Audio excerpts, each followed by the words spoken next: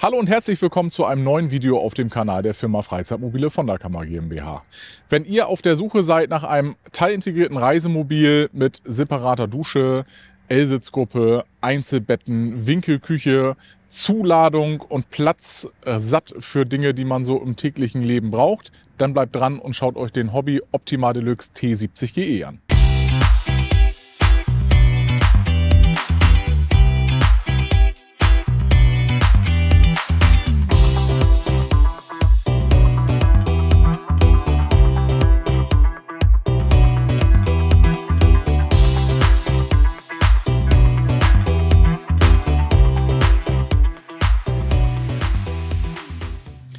Die ersten Bilder habt ihr bereits gesehen vom Optima Deluxe T70 GE.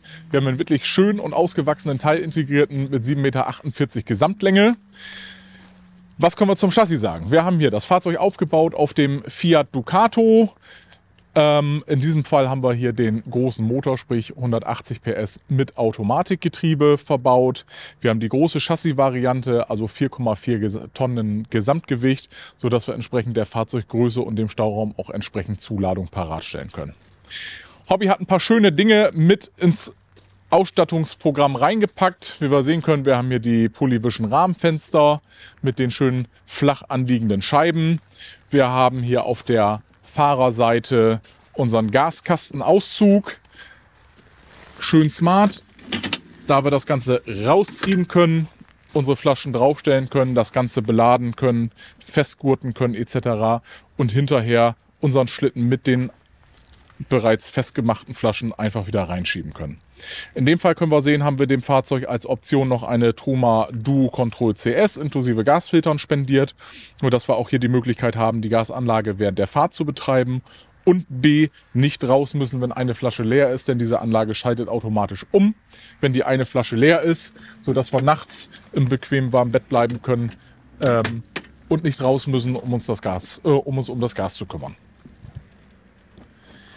Wir haben ein sehr, sehr schönes Heck, wie ich finde. Wenn wir uns den Optima Deluxe anschauen, können wir sehen, wir haben hier ein sehr, sehr schönes automotives Heck von der Form und Designsprache mit dem durchgezogenen schwarzen Band hier in der Mitte. Klar, der Hobby-Schriftzug in der Mitte darf nicht fehlen. Wir haben hier schöne automotive Leuchten. Und wir haben hier auch, was Reparaturfreundlichkeit angeht, ein wirklich schönes Auto, weil wir hier einen Leuchtenträger über die gesamte Breite haben, den wir relativ einfach im Falle des Falles auch mal tauschen können. Wir können sehen, Rückfahrkamera haben wir mit dran, denn wir haben hier in der Deluxe-Version schon eine sehr, sehr gute und umfangreiche Ausstattung mit dabei. Wir haben also im Bereich des Chassis das Safety-Paket immer serienmäßig. Navigation, Rückfahrkamera ist hier mit dabei und, und, und. Also wir haben hier schon ein Auto mit einer sehr, sehr schönen Ausstattung ab Werk. Auch von der Außenabklebung finde ich, ist das ein wirklich sehr, sehr schönes und zeitgemäßes Dekor. Innen erwartet uns ein, ich würde sagen, skandinavisches Design mit hellen Holztönen, dunklen Applikationen. Wie das aussieht, sehen wir gleich drin. Aber wir schauen jetzt noch mal auf die andere Seite und werfen einen Blick in die Heckgarage. So, der Blick in die Heckgarage zeigt uns, dass wir hier wirklich sehr, sehr viel Platz und Stauraum haben. Zweite Garagenklappe auf der gegenüberliegenden Seite, auch natürlich in der kompletten Höhe wie auf der Beifahrerseite. Was natürlich nicht fehlen darf, ist Beleuchtung. Die haben wir hier natürlich mit drin. Wir haben 230 Volt und 12 Volt Strom hier hinten drin. Und wir haben natürlich hier auch ein vernünftiges Maß. Können wir einmal hier von der Decke zum Boden messen. Da haben wir 1,12 Meter knapp, 1,11 Meter in der Breite sind wir hier bei 1,15 Meter.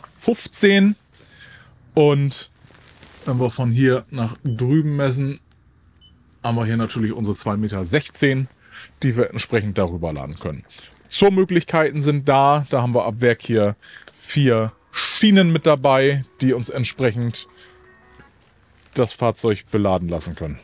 In der Deluxe-Version, die wir hier haben, können wir sehen, unsere Garagenklappe ist hier mit einem Gasdruckdämpfer gehalten, sodass wir keinen Aufsteller an der Tür bzw. an der Wand haben, sondern hier wirklich die schöne Variante mit einer Gasdruckfeder für eine cleane Optik der Seitenwand. So, und schon sind wir angekommen im Interieur von unserem Hobby Optima Deluxe T70 GE.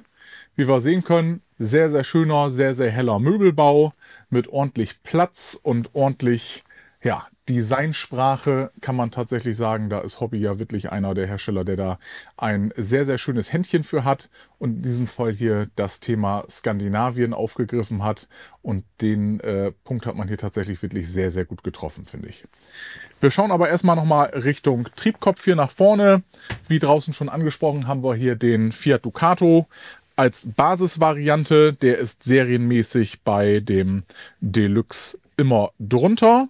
Die Baureihe On Tour ist immer auf dem Citroën-Chassis aufgebaut. Hier bei dem Deluxe immer auf Fiat Ducato-Basis. Wir haben den großen Motor, weil wir uns hier für die Automatik entschieden haben, also sprich 180 PS mit dem Neungang Wandler Automatikgetriebe, haben wir hier in diesem Fahrzeug verbaut. Und wir haben hier auch entsprechend das große Fahrwerk geordert, sodass wir hier entsprechend ordentlich Zuladung auch darstellen können. 4,4 Tonnen Gesamtgewicht, 3186 Kilo Masse im fahrbereiten Zustand, so wie er hier jetzt steht. Macht also summa summarum äh, gut über 1,2 Tonnen an Zuladung, die wir dem Auto noch verpassen dürfen. Navigation, Rückfahrkamera haben wir natürlich mit dabei. Plissé-Verdunklung für unsere Seiten- und Frontscheibe hier vorne. Das Fiat Safety Paket habe ich schon angesprochen, ist auch mit dabei. Und wenn wir uns jetzt dem Wohnraum widmen, können wir sehen, hier vorne ist es sehr, sehr schön hell, sehr, sehr schön offen. Wir haben hier oben unser äh, Panoramadachfenster im Fahrerhaus, was wir natürlich auch öffnen können.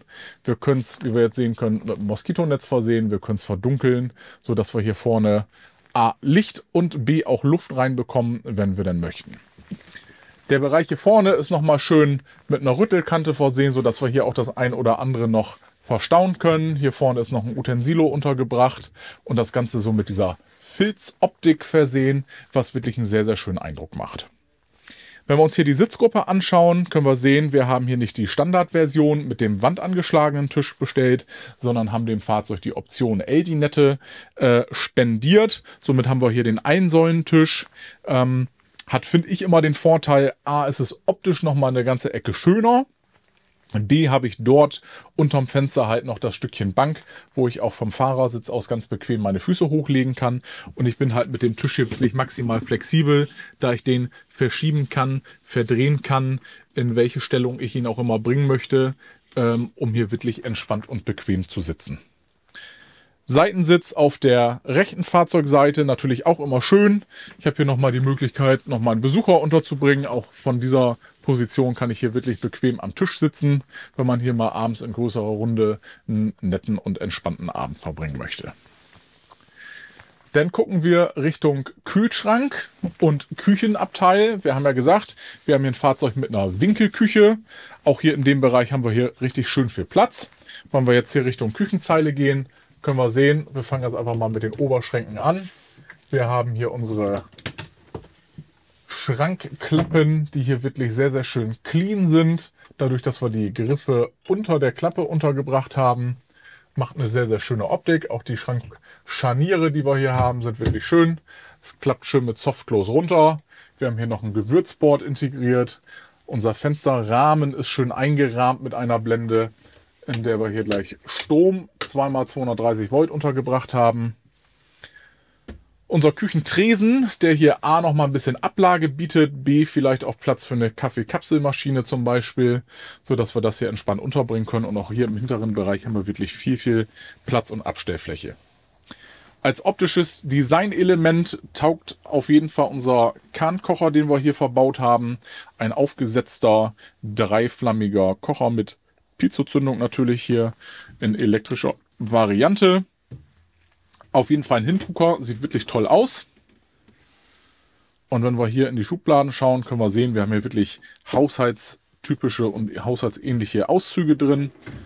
Softcloves darf natürlich nicht fehlen. Und da ist ordentlich Platz drin für alles das, was wir so in unserer Küche unterbringen müssen. Und besonders schön bei Hobby finde ich tatsächlich immer die Verschlüsse der Schubladen und der Schränke hier in dem Bereich. Das sind klassische Pushlock-Schlösser, so wie wir sie quasi kennen, aber in etwas anderer Form. Sprich, wir haben hier einen wirklichen schönen Griff, wo ich auch reingreifen kann und ganz einfach auf Knopfdruck meine Schublade oder mein Schrank hier wieder verriegeln.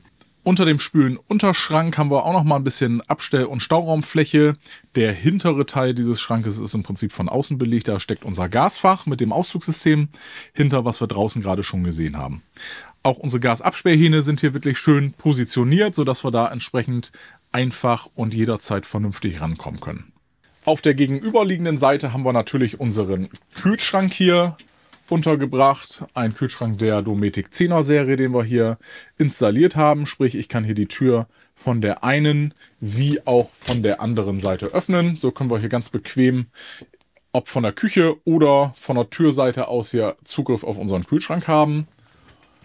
AES ist natürlich hier auch mit dabei, sprich automatische Energiewahl. So können wir entsprechend hier den Kühlschrank für uns arbeiten lassen und brauchen nicht selber dran denken, die Energieart entsprechend umzustellen. Schrankraum oben drüber, Schrankraum unten drunter. Auch da haben wir wirklich jedes Plätzchen genutzt und haben dort noch Stauraum für unsere Küchenutensilien untergebracht. So, jetzt stehen wir hier hinten im Bett- und Badbereich von unserem Deluxe T70 GE. Wirklich schön ist ja immer die Variante mit dem Raumbad, sprich ich kann meine Nasszellentür hier ganz einfach umklappen, kann entsprechend mir zwei Räume separieren. Ich habe auf der linken Seite, ich komme mal einmal rein, schließe die Tür einmal hinter mir. Ich habe hier auf dieser Seite entsprechend Toilette, Waschbecken mit Spiegelschränken oben, mit einem Unterschrank, mit einem schön aufgesetzten Waschbecken, mit auch noch ein bisschen Stauraum. Hier können wir also unsere Badutensilien ganz schön und entspannt unterbringen. Auch eine 230 Volt Steckdose haben wir da integriert, so dass wir hier für unser Bad im Prinzip alles haben, was wir brauchen. Platzmäßig bietet das auch eine ganze Menge. Unsere Toilette ist natürlich drehbar, so dass wir hier auch ganz entspannt auch mit längeren Beinen sitzen können und die Türe auch ebenfalls dabei schließen können. Wenn wir uns die andere Seite anschauen, können wir sehen, wir haben hier wirklich eine sehr, sehr schöne und großzügige separate Dusche. In beiden Fällen, sprich Dusche wie auch Bad gegenüber, haben wir eine 40x40 Dachhaube mit an Bord, sodass wir entsprechend Licht und Luft reinbekommen. Und wenn ich hier mal einen Schritt reinmache, auch mit Schuhen habe ich hier wirklich sehr, sehr viel Platz. Mit meinen 1,92 kann ich hier selbst das Rollo der Dachhaube zumachen und habe wirklich nach oben sehr, sehr viel Spielraum. Und unsere Duschtüre ist hier entsprechend auf der Seite über untergebracht. Und verkleidet mir unsere Dusche wirklich mit einem Handgriff. Magnetisch geht das Ganze zu. Dadurch, dass unsere Türe hier weiß ist, kann man da nicht wirklich viel von sehen, wenn ich drin stehe. Aber ich denke mal, man kann es erahnen. Da klappt die Tür vor. Ich habe hier wirklich sehr, sehr viel Platz und sehr, sehr viel Bewegungsfreiheit in unserem Duschraum selber. So, widmen wir uns unserem Schlafzimmer hier im T70 GE. Kleiderschrankraum natürlich immer ein Thema, darf nicht fehlen. Wir haben hier auf der rechten Fahrzeugseite einen schönen Schrank mit Borten, wo wir entsprechend hier Wäsche und Kleidung unterbringen können. Auf der gegenüberliegenden Seite haben wir natürlich auch noch mal Platz. Einmal dort, einmal dort. Hier dann verhängende Garderobe.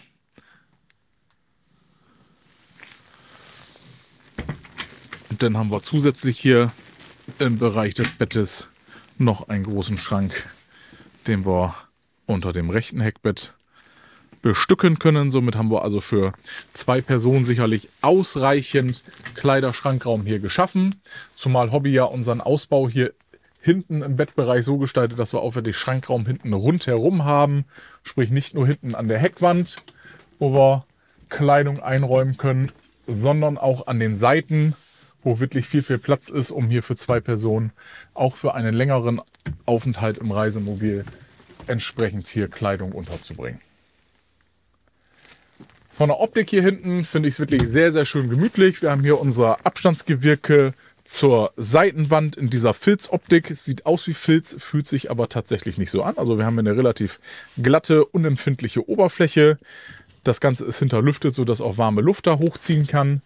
Hinten an der Heckwand gleiche Optik wie an der Seite mit dieser Paneloptik nochmal zusätzlich. Unseren schwarzen Spots hinten auf der Heckwand. Macht wirklich einen sehr, sehr schönen und gemütlichen Eindruck hier hinten. Auszugssystem hier für unsere Bettmitte ist natürlich ebenfalls mit dabei mit einer dicken Matratze, sodass wir hier das Ganze zuziehen können, Leiter ranstellen können und uns hier eine wirklich große Liegewiese davon zaubern können, sodass wir hier auch mal ganz entspannt mit Kind oder Enkelkind hinten in der Mitte übernachten können. Dann ist natürlich das Thema Bettenmaße immer wieder wichtig und ein Thema.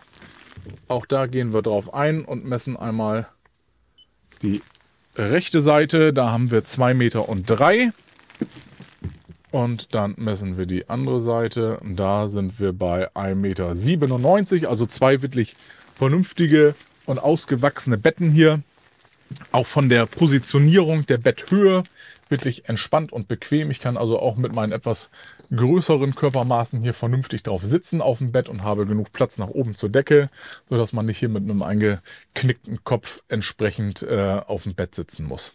Auch der Platz unter den Hängeschränken hinten ist wirklich ausreichend und gut dimensioniert, sodass man auch da wirklich entspannt liegen und schlafen kann. Strom haben wir auch da hinten gleich installiert ab Werk, sprich wir haben eine 230 Volt Steckdose, eine Doppel-USB-Dose, also Thema Handyladen haben wir da auf jeden Fall schon mal erledigt. Und für diejenigen, die mit einem Schlafapnoe-Gerät unterwegs sind, auch die haben dort hinten gleich eine Steckdose, sodass das Gerät dort angekabelt werden kann. Schubladen auf der linken Fahrzeugseite unterm Bett, die wir hier auch noch mal ganz entspannt bestücken können. Hier das gleiche wie in der Küche mit unseren haushaltsähnlichen Auszügen mit Softglows, die entspannt hier ins Schloss gleiten und auch unsere Trittstufen hier unterm Bettaufstieg sind noch mal genutzt, sodass wir hier auch noch mal das ein oder andere Utensil einladen können.